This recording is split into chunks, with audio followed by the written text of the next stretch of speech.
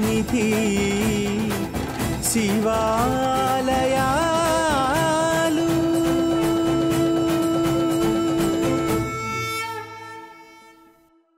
ఓం అరుణాచలేశ్వరాయ నమ.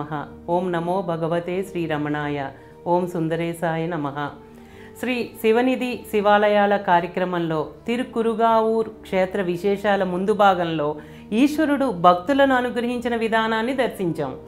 ఈ భాగంలో ఈ క్షేత్ర విశేషాలను ఈశ్వరుడు భక్తులను అనుగ్రహించడాన్ని విని ఆ క్షేత్రాన్ని దర్శించడానికి వెళ్ళిన వారికి కూడా పరమేశ్వరుడు అనుగ్రహిస్తారని రుజువు చేయడానికి సాక్ష్యంగా ఈ ప్రత్యేకమైన భాగాన్ని మీకు వివరిస్తున్నాను.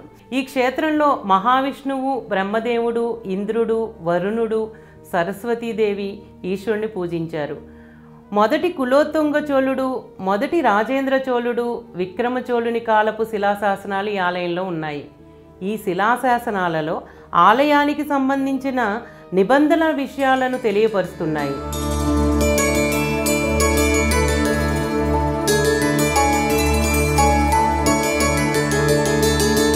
ఈ క్షేత్రాన్ని దర్శించాలని దీపావళి రోజున నేను తిల్లై రాణి అనే శివభక్తురాలితో కలిసి బయలుదేరి వెళ్ళాము.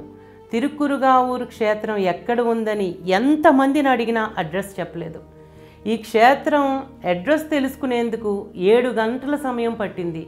అలా వెతుక్కుంటూ వెతుక్కుంటూ వెళితే మధ్యాహ్నం పన్నెండు గంటలకు ఆలయానికి చేరుకున్నాం. తీరా మేము వెళ్ళేసరికి ఆలయం మూసివేసి ఉంది. అక్కడ ఉన్నవారిని అడిగితే నెల రోజుల నుండి ఆలయం మూసే ఉంది ఎందుకంటే పూజారికి జీతం కూడా ఇవ్వట్లేదని ఆయన మానేశారని చెప్పారు.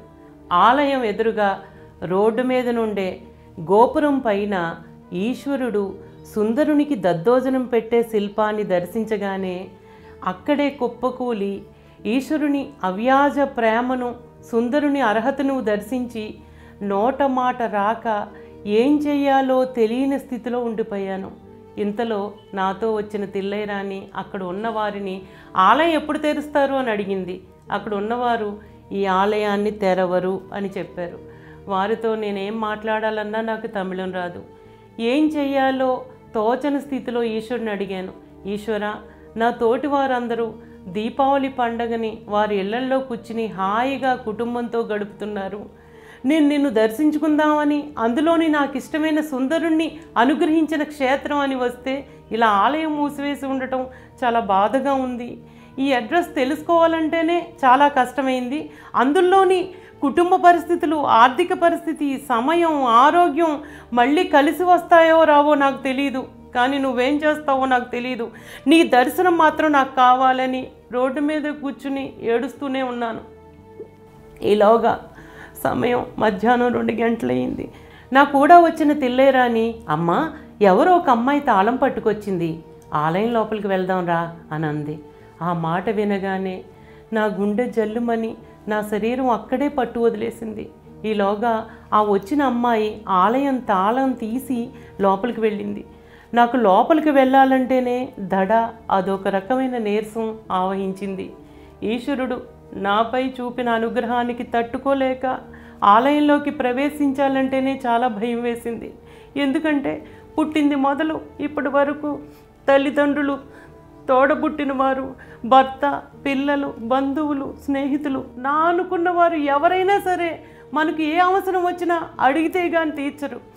ఈశ్వరుని నీ దర్శనం కావాలి అని అడిగినందుకు కైలాసంలో ఉన్నారో హృదయంలో ఉన్నారో నాకు తెలియదు కానీ ఎక్కడో అమ్మాయిలో ప్రవేశించి మధ్యాహ్నం రెండు గంటలకు ఆలయం తలుపులు తెరవాలనే సంకల్పాన్ని ఇచ్చి నేను దర్శించుకునే అనుగ్రహాన్ని కురిపించిన కరుణకు ఆనాడు సుందరుని ఆకలి తీర్చడానికి రూపం ధరించి సాక్షాత్తు పరమేశ్వరుడే వచ్చి అన్నం తినిపిస్తే ఎలా తట్టుకున్నారో తెలియదు కానీ ఈరోజు ఆ చరిత్రను చదివి వచ్చినందుకు మాపై ఎంతటి కరుణను కురిపిస్తున్నారో మాటలతో చెప్పగలమా?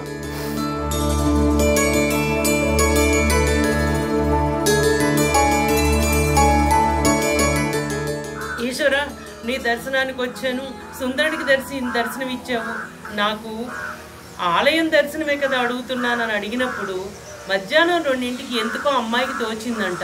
వెళ్తే బాగుండు తాళం తీస్తే బాగుండు అని.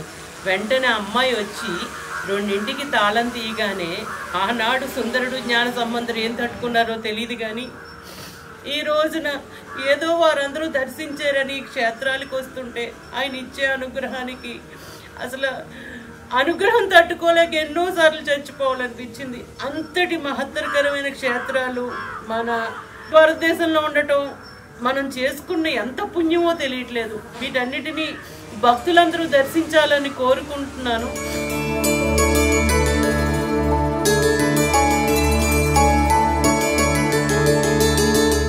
ఎంతో ధైర్యం తెచ్చుకుని ఆలయంలోకి వెళ్ళి శ్వేత వృషభేశ్వరుణ్ణి అమ్మ నీలోత్పల విశాలాక్షిని దర్శించుకుని చాలాసేపు అక్కడే ఉండిపోయాం. తర్వాత ఆలయం తలుపులు తెరిచిన అమ్మాయిని ఈ ఆలయానికి సంబంధించిన బావి ఉండాలి కదా అది ఎక్కడ ఉందని అడిగాను. అప్పుడు అమ్మాయి తాళం తెచ్చి పాడుబడిన ఒక గేటు తాళం తీసి ఇదేనమ్మా బావి అని చెప్పింది. ఆ రోజు జ్ఞాన సంబంధం కోసం ఈశ్వరుడు గంగను ప్రవేశపెట్టిన బావి నీటిని ఒక్క చుక్కైనా త్రాగాలని అనుకున్నాను. కానీ అక్కడ నీళ్ళు తోడేందుకు చేతలేదు? ఇంతలో నా కూడా వచ్చిన తిల్లైరాని ఓ కొమ్మను విరిచి లోతైన బావిలో కొమ్మ మనతో ఓ చుక్క నీటిని తీసి నా చేతిలో వేసింది. ఆ చుక్క నీటిని ఆనందంతో నమస్కరించి తీసుకున్నాను.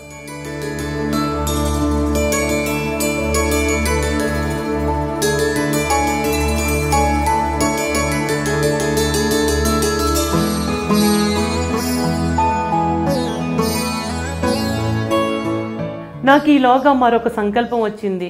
తిల్లైరా నేను పిలిచి కొంచెం మొహమాట పడుతూ తిల్లై ఏ ఆలయంలోనైనా ఈశ్వరుడు ఉంటారు. కానీ సుహతప్పి పడిన సుందరునికి ఈశ్వరుడే రూపం ధరించి వెళ్ళి అన్నం పెట్టిన ప్రదేశం ఎక్కడుందో చూద్దామా అని అడిగాను. ఆ మాటకి ఆమె ఉలిక్కి పడినట్లయి అమ్మా ఈ ఆలయ అడ్రస్ని తెలుసుకుని ఇక్కడికి చేరుకోవడానికి ఇంత సమయం పట్టింది. ఎప్పుడో ఎక్కడో ఎన్నో వందల సంవత్సరాల క్రితం ఈశ్వరుడు రూపం దాల్చి వచ్చిన స్థలం మనకు దొరుకుతుందా? మనం చిన్నప్పుడు సైకిల్ తొక్కుతూ పడిపోయిన స్థలమే మనకు గుర్తుండదు. అసలే దీపావళి. కొంచెం లేట్ అయితే బాణాసంచాన్ని కాల్చడం మొదలు పెడతారు. మనం రోడ్డు మీదకు కూడా వెళ్ళలేం. అసలే ఈ కారు డ్రైవర్ సరిగ్గా లేడు. వద్దమ్మా అని చెప్పింది. అప్పుడు నేను ఒకసారి ప్రయత్నం చేద్దాం. దొరికితే దర్శించుకుని వెళ్దాం. లేకపోతే వెళ్ళిపోదాం అని చెప్పాను. తిల్లై మౌనంగా ఉంది. కానీ నాకు తమిళం రాదు. ఎవరిని అడ్రస్ అడగలేను. ఆ పల్లెటూరి రోడ్డు అస్సలు బాగోలేదు. అక్కడ ఎక్కడైనా చిన్న గుడి కనిపిస్తే వెళ్ళి చూసి ఇది కాదు అని వచ్చేసేదాన్ని. ఎంత తిరిగినా దొరకటం లేదు అడ్రస్సు. డ్రైవర్కి ఆకలేసి భోజనం చేయాలని గొడవ పెడుతున్నాడు. ఏం చేయాలో తెలియని పరిస్థితిలో ఎప్పుడూ సహకారాన్ని అందించే రమణాశ్రమంలో ఉండే చంద్రమౌళి గారికి ఫోన్ చేసి చంద్రమౌళి గారు సుందరునికి ఈశ్వరుడు అన్నం పెట్టిన ప్రదేశాన్ని దర్శించుకోవాలని ఉంది నాకు అది కనిపించటం లేదు అని ఏడ్చాను. ఆయన వెంటనే మీరు అరుణాచలం వచ్చేయండి. మరోసారి మనం వెళ్దాం అన్నారు. నాకు ఇంకా ఆతృత పెరిగిపోయింది. తిరువారూరు శివభక్తుడైన జయరాముకు ఫోన్ చేసి జయరాం నాకు సుందరునికి ఈశ్వరుడు అన్నం పెట్టిన ప్రదేశాన్ని చూడాలని ఉంది నీకు తెలిస్తే చెప్పవా? అని ఏడ్చాను. జయరాం కంగారుగా ఎవరినైనా అడిగి వెళ్దామమ్మా నువ్వు తిరువారూరు వచ్చేయి అన్నాడు. వెంటనే నాకు ఒక సంకల్పాన్ని పరమాత్మే అనుగ్రహించారు.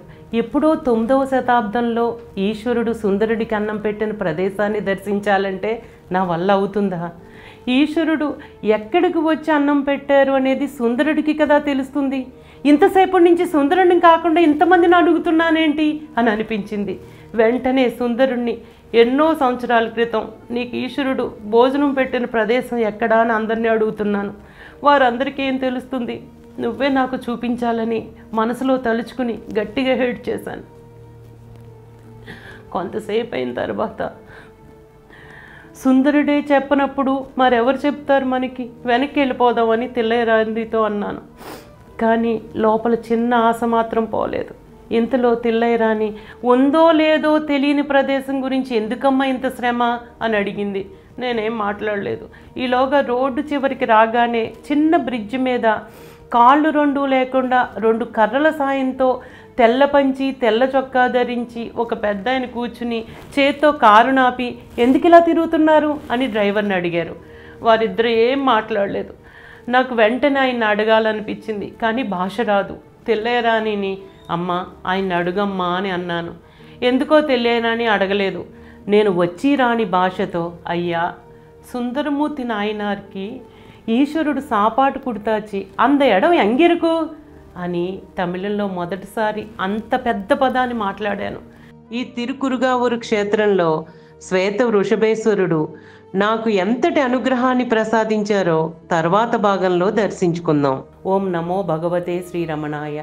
ఓం అరుణాచలేశ్వరాయ నమ ఓం సుందరేశాయ నమ